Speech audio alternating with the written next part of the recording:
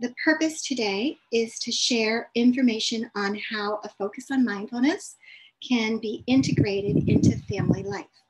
And so it's to provide also a discussion, techniques, and resources on how you can do that. So I'd like you to take a moment, if you would, and think about what you're hoping to get out of this presentation.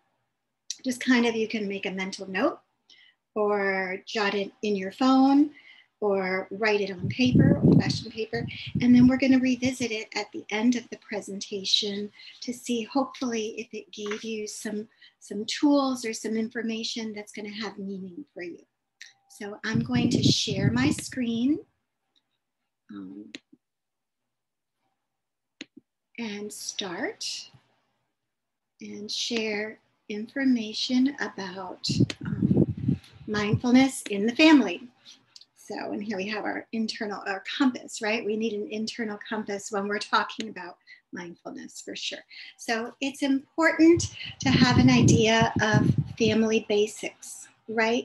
So family systems are impacted by multifaceted experiences. We have our joys, our stresses, our losses, and we process these daily. Mm-hmm. And so it's really important to um, prioritize communication when we're working with families. Working with families is just kind of an extension of working with individuals for those of you that may have experience or those of you that may not. And so you're prioritizing in building family communication, you're prioritizing shared experiences, establishing, helping parents establish appropriate boundaries for their children.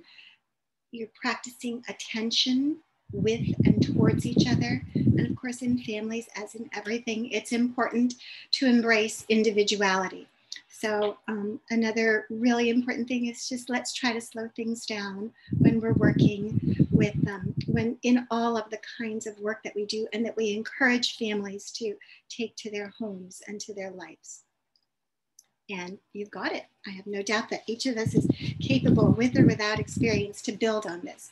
So I discuss a parallel process. I connect to our work with children. So some of us may not have the experience of working with children, but it's just kind of a similar process to working with adults. Of course, understanding their developmental needs, um, whether it's early childhood or adolescence, but we can extend similar strategies, techniques, and interventions. So, for example, at a different level, you can do psychoeducation. You can um, in, in, um, introduce meditation with families, with children. You just do it at a different level than you might um, with adults, with the individuals we work with, usually as adults. So with children, you want to have hands-on activities. You want to have opportunities for children and adolescents to share their stories. You want to, because it's very important that you hear from them.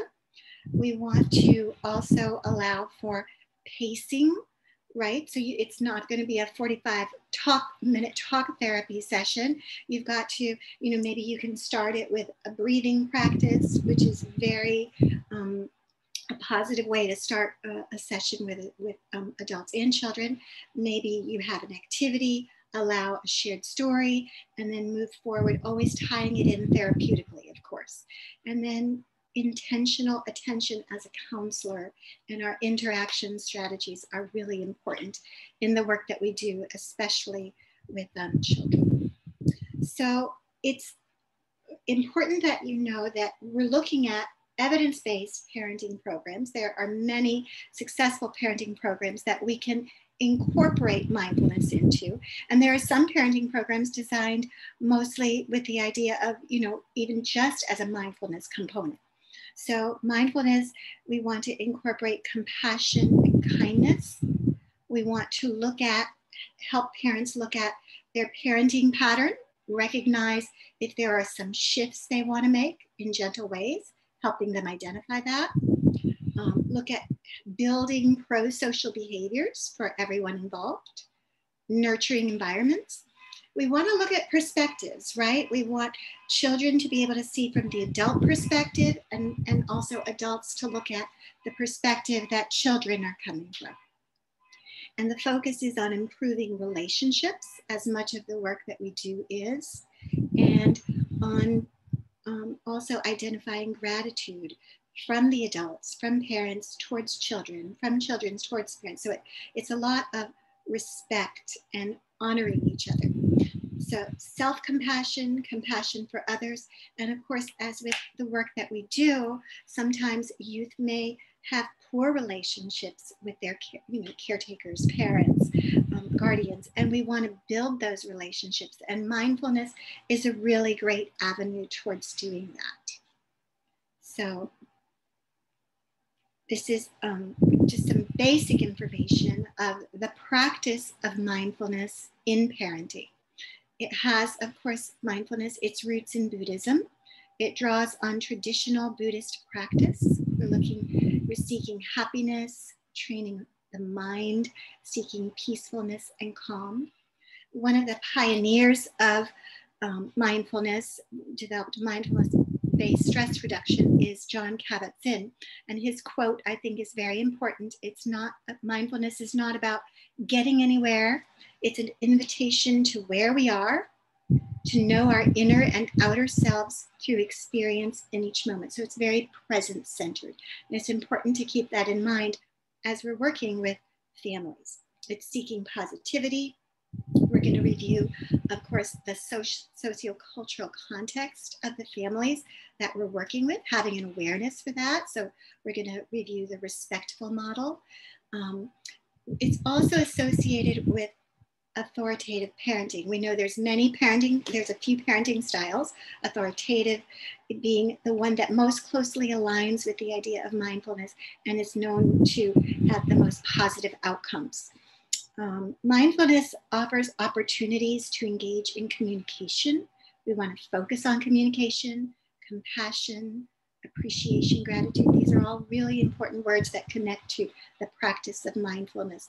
And of, co- of course, helping to guide social, positive, pro social behaviors and relationships. So, peacefulness and calm is a definite goal. I know many of you have seen this respectful model, but I think it's worth reviewing as we're talking about our work with families. So we want to honor and respect the individual sociocultural context that they're coming from, economically, religiously, sexual identity, looking at their psychological maturity, of course, ethnicity, culture, and, and cultural and racial identity, looking at chronological development, right? Um, age, um, trauma, perhaps if there have been threats to the well-being of individuals in the family. We want to look at their history, their, um, you know, their um, multi-generational impacts, of course. Um, also, any unique physical characteristics that may be um, that we may need to be aware of when working with the family or language differences. So this respectful model is such a great way of reminding us to build that awareness with everyone that we're working with. Is, but you know, as we're talking about here with families and with children, honoring that. So I, I promised we would kind of just briefly review parenting styles because it does connect to parenting education. We, the most effective outcomes are seen with authoritative parenting, which looks at warmth and responsiveness. So we want to help parents build this if they may be a little off that scale in another area, perhaps authoritarian, right? We want to build the skills for warmth and responsiveness, having boundaries, rules, expectations, but in a supportive way, and valuing independence. And of course, the outcomes are going to build self esteem, academic performance, um, social skills, positive social skills, reducing there's less mental illness. Um, it's found from uh, you know this parenting style in um, adolescence and childhood and lower delinquency. And then briefly looking at some other styles, the authoritarian is more that um, dictatorial, you know, man, aligning with a dictatorial style. You do it because I said so. And so, of course, those outcomes are not as positive. And we want to be aware of this in our work because we're not just working with children, we're also working with parents and their family system. And we want to find opportunities to build these positive skills, which really do align with mindfulness, with, our, with the parents, um, with the adults that we're working with. Um, we know there's permissive style as well, which may be very loving, but less boundaries, and neglectful, of course, being um, not care, caring and um, neglecting children's needs. But again, the one that we're looking at is the authoritative style, which blends in well with mindfulness techniques. So looking at the outcomes, this uh, mindful.org that I'm referencing here has some great resources. It increases focus, emotional regulation is helped. It helps reduce um, anxiety, depression, behavioral symptoms. Academic performance is increased. Our social skills, our pro-social skills are increased. And of course, this general sense of well-being that we're trying to foster in ourselves and in children, helping them build that um, through some of the work that we do and encourage. So that is kind of, you know, structures some of what we're going to talk about. I have some, uh, in my research, I have some books that I can highly recommend that really share a lot of the work that we can do in um, in helping incorporate this in our work with families, right? So there's a wonderful book by, as I talked about, Jon Kabat-Zinn and his wife, and their quote on mindfulness, it's awareness that arises from paying attention on purpose in the present moment, non-judgmentally, cultivated by gently reminding ourselves over and over to pay attention in that way. So it, as the book um, highlights, it, is, it takes energy and it takes commitment. It takes, you know, constantly thinking and working and building these skills um, in our homes. Um, it's valuing, you know, we value our careers, our self-care, the things we're interested in, and family is important to be a part of that value also that process is very important in taking the time and having the commitment to work um, and cultivate this practice with um, children, right? Parents cultivating it with their children. So of course, parenting can be very challenging. And if, if we become, as a family, more conscious of these experiences, that's going to help build more positivity and increase um, that sense of well-being that we want to foster in families, that sense of trust and belonging and safety. And so in their book, they talk about parenting as the full catastrophe, right? Whether you have one, two, three children, you know that it's busy and it's not about controlling that, it's about honoring that, building boundaries and some structure in healthy ways. And mindfulness is a, a beautiful avenue towards doing that. So in this, in their book, they emphasize um, breathing strategies that we know can be so calming, a focus on well-being and self-care. Um, a lot of mindfulness strategies connect with the importance of our senses. So mindful eating is discussed in this book. You know, you're taking that raisin or that small morsel and really um, tasting it and going through your senses, feeling it as you're eating it. And that's a very important part of, you know, honoring that, that need to give ourselves nutrition. Um, there's boundaries and respect in families are very important. And so um, discussing this as we're building parenting skills and building our relationships with families is very important. They talk about the sovereignty of our children. And I love that, um, that word in reference to how we are, our, our point of view towards our children, right? We have to honor and respect the same way, same way that we expect that in return, that individuality. It takes time, it takes communication, and they also make the point that it is never too late, right? So, like we talked about in the evidence based parenting, um, that there are, um, you know, there may be relationships that need to be repaired. Mindfulness is a wonderful avenue towards doing that in simple things. It's nothing, you know, nothing mystical. It's communicating, taking time, being in this present moment. And so that's what they kind of um, promote and talk about in this book um, as an extension of that mindfulness-based stress reduction. So there's seven intentions that they mention in the book. And I just want to briefly talk about them because I think each one of them is so important. Um, parenting as an intentional practice, being self aware and open hearted, seeing parenting as an opportunity to offer what is the best in each of us, right? That mutual um, interaction in our family. Uh, bringing mindfulness into daily life, discernment and mindfulness, especially with youth, helping them be present, being present for them. To re- and to realize that, you know, it isn't the child that we expected, but the child that we see and value and love as they are, as they come to us, right? Their individuality being their own, right? And to be honored.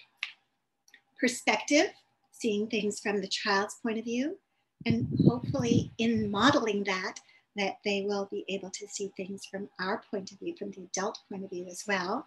Um, and seeing, don't pretend something isn't there, even if it's difficult, even if it's negative, it's something to be seen and addressed and discussed. So, even the dark and the difficult.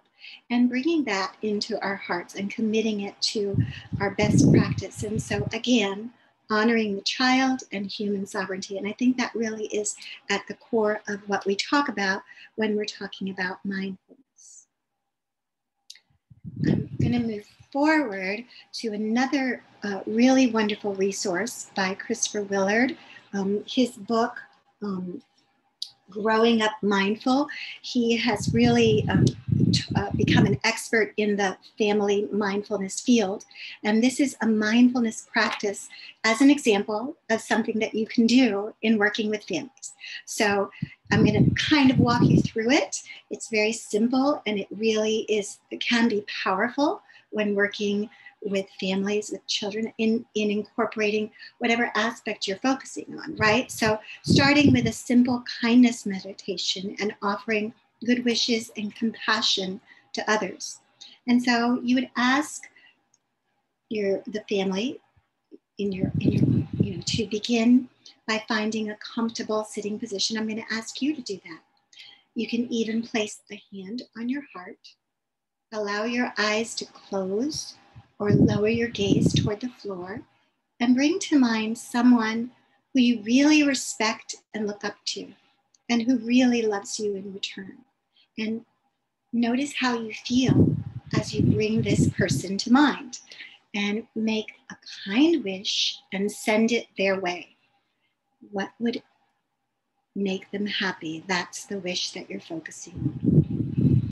And then you guide the family or the child to bring to mind someone else that you love and care about, a family member, a friend, bringing this person to mind and sending this person a kind wish.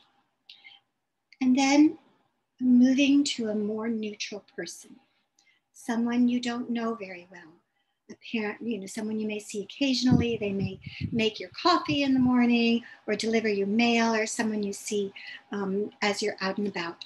And bring this person to mind and imagine yourself sending them some kind of kind wish. And then allow them to process that.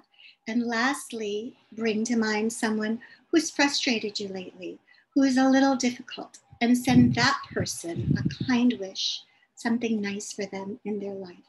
And then you would ask, you know, the person, the family, the child, the adolescent to check in with their mind and their body as they conclude this practice and ask them to open their eyes. So, of course, this is something you're going to walk through more slowly and allow them to process. But I wanted to give you an idea of something that you could use in practice with a family, you know, with whoever's there for you that brings to mind that kindness and that connection to humanity. And so in his book, Christopher Willard, who just, you know, I highlighted his um, mindfulness practice. Um, in his book, uh, thank you, thank you, Dr. Shore. Um, in, in his book, um, he talks about um, mindfulness having such positive effects on our neurological, psychological, physical, academic, and behavioral well-being. Yes? As you all mentioned, you might um, and so in looking at these effects, we can see, you know, neurologically, the amygdala is going to be less active.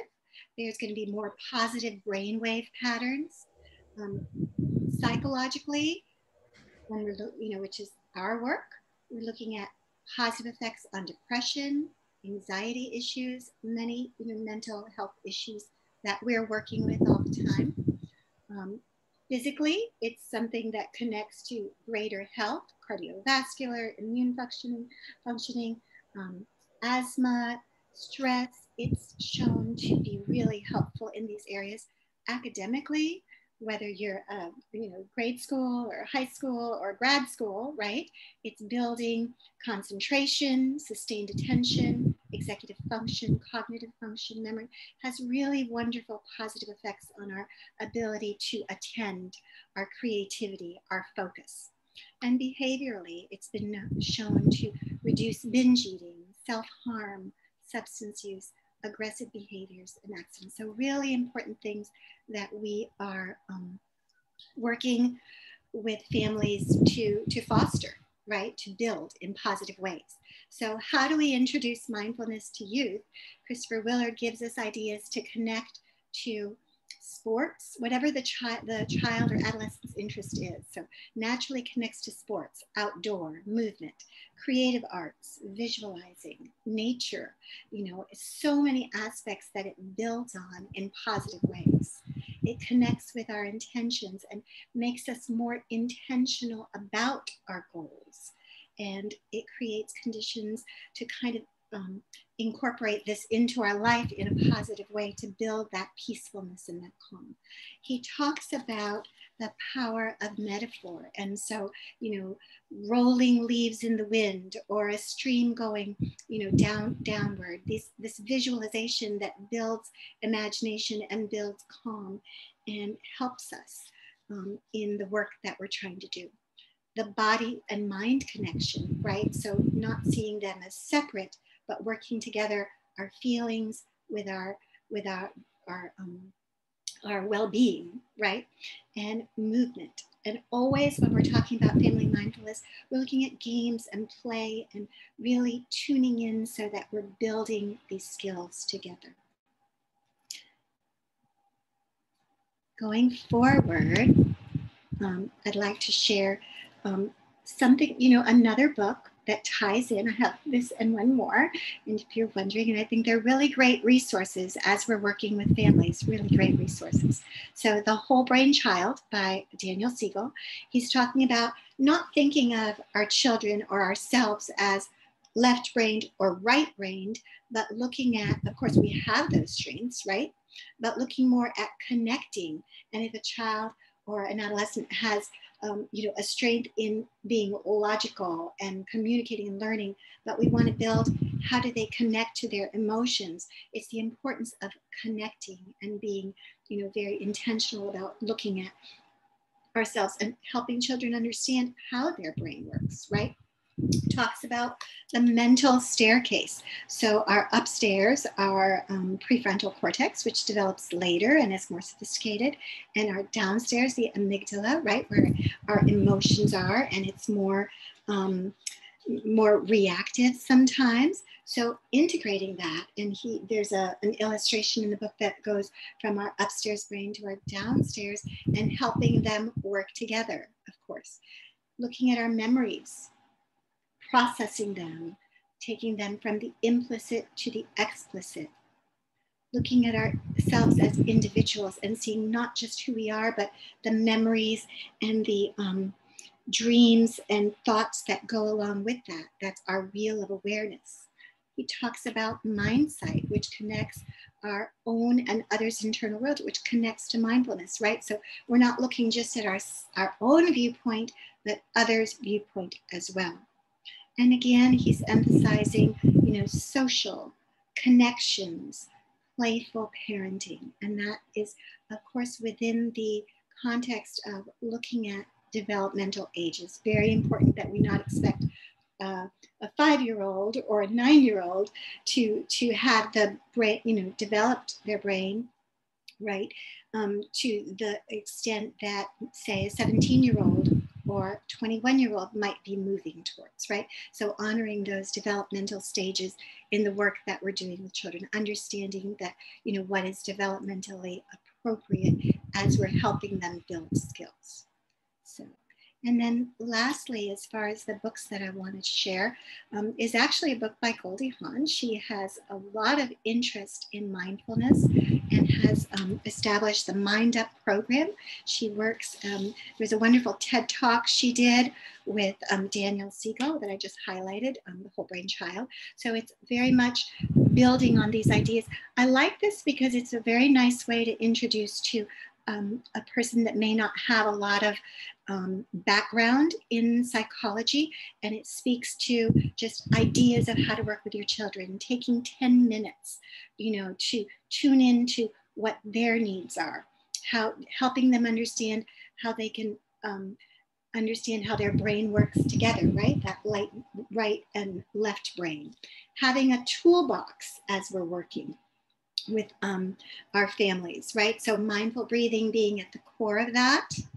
Sensing, right? We're looking at our senses, grounding work, helping people be present in this moment, um, being very optimistic, focusing on gratitude, but helping with strategies to deal with the anger or sadness or fear that children, adolescents, adults feel, right? So we don't, we want to deal with that in a calm and peaceful way and learn strategies to build mindfulness to help us calm and um, build positive proactive strategies that build positive ways of addressing some of these um, difficult feelings that we want to process right? Not by going and punching a pillow or punching a, a, a a punching bag she highlights in her book, but by processing how can I talk about this?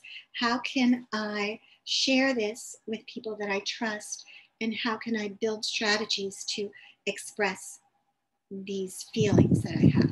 So, a lot of reflection and a really nice way of um, giving a support to families in a, in a really simple way. It talks, it has a lot of actual um, sensing exercises, nature exercises.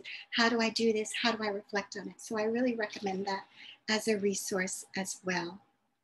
And so to kind of go forward in these simple practices that we're talking about, um, we have um, breathing strategies, right? So the belly breathing with the, the teddy bear stuffed animal that you put on your tummy and you see it rise and lower the child. Or the hot chocolate breast that um, Christopher Willard um, has a, a, a video where he talks about pretending that you're holding hot chocolate, right? With the marshmallow smell and the hot chocolate smell, and it's chilly, and you're smelling and breathing it in. So that allows for that, you know, kind of visualization and imagery with breathing in that hot chocolate. You're in a cold place. You're it's a cozy feeling, and you're breathing deeply and letting that go. And it's a really positive way of building that with children. Getting outside, mindful walking, blowing bubbles. These are simple things that we can do that help um, families. We do it together mindful eating we talked about that and if we're eating as a family hopefully often you know putting away those screens and tuning into each other and tuning into also our senses so a lot of these books have um, resources and um, my plan is to create some resources and send that out as an additional you know um, resource for you all to use. But really, it's important that we talk about it here and understand that this creativity and playing and interaction is a positive way of building those um, simple practices that bring mindfulness into our daily lives as families. for children, for adolescents. I have a very brief, small um, little uh, clip that I would like to show you. Um, it is musical. It's an example really of how you can look at the client situation, you as a counselor, what you're trying to accomplish with children or their family, and find resources online that are going to tune in and bring them you know bring them into this moment and illustrate it for them. So i am going to um, share this hi everybody. Um, share a different i'm going to share this quick clip that highlights oh it didn't go to where i wanted it to go here it is um, you can see that The YouTube? Yeah. Can you see that? Yes. Okay, here we go.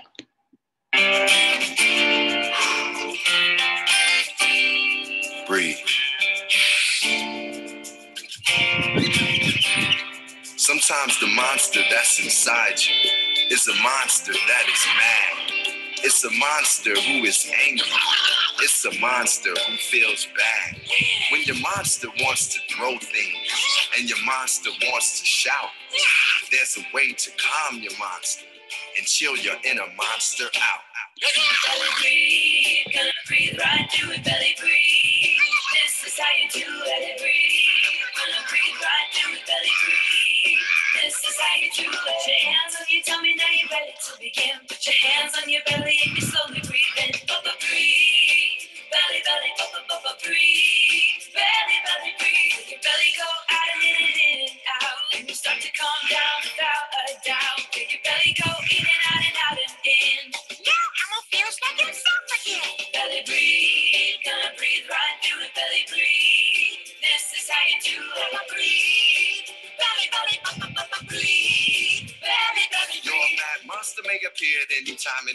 And that mad monster will make you make a mad monster face. He makes you want to push. He makes you want to shove. There's a way to calm that monster. Bring out the monster love. Belly breathe. Gonna breathe right through it. Belly breathe. This is how you do it. Belly breathe. Gonna breathe right through it. Belly breathe. This is how you do it. Belly go out and in and in and out. That's what belly breathing is all about.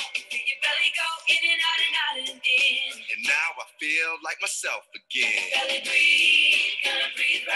just. Uh. It.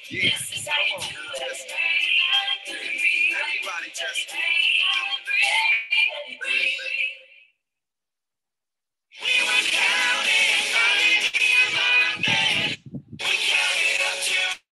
So sorry. All right, get back to the PowerPoint. We're almost there. Um, and uh, like that. I think it's just really important to highlight some of those things. I know that's younger age, um, and we're working with all different ages, but it's an example of um, how we can find these resources to work with the, the young, the youth that um, come into our um, offices, into our sessions. The other one I'm not going to share, but that's Christopher Willard talking about you know, his work with families, highlighting that hot chocolate breath, right? And um, moving forward, I compile just a small sampling of resources, you know, just a little starter set. Um, there's wonderful organizations in our South Florida area. AHAM Education works in Broward County Schools, I believe, connected to. I took my own mindfulness-based stress reduction through Mindful Kids Miami, and then I, I researched this Florida community of mindfulness as well. And so it's the work that you do to, to see what's out there and what you're what you can connect to to share with the, um, families and children that you're working with. And then there's websites, right? So Calm and Headspace, I sometimes recommend. I, I tell um, the families that I'm working with, you know, just um, get the trial, see if it works for you. Um, and sometimes that's enough to go forward with lots of things um, in you know, the white noise, the calm music, the, the meditation. Also, mindful.org is for all ages, and they have particularly wonderful resources for mindfulness with, for kids. Smilingmind.com is through Australia. They have amazing resources and are so um, up and coming with what they share. And Stop and Breathe, Stop, Breathe, and Think Kids is another resource. And then I listed a few resources for working with kids. I did want to highlight, if you can see me, um, this Mindful Kids 50 Mind, I'll show it at the very end, um, mindfulness activities, which really focuses on the breath and imagery. It, it's for ages four to 104. I love it. And um, then there's the books that we highlighted as well. So bringing closure, um, a lot of information. I really wanted to share a good, um, you know, beginning with you so that you would have resources and, um, you know, ideas of the directions that you might like to go in.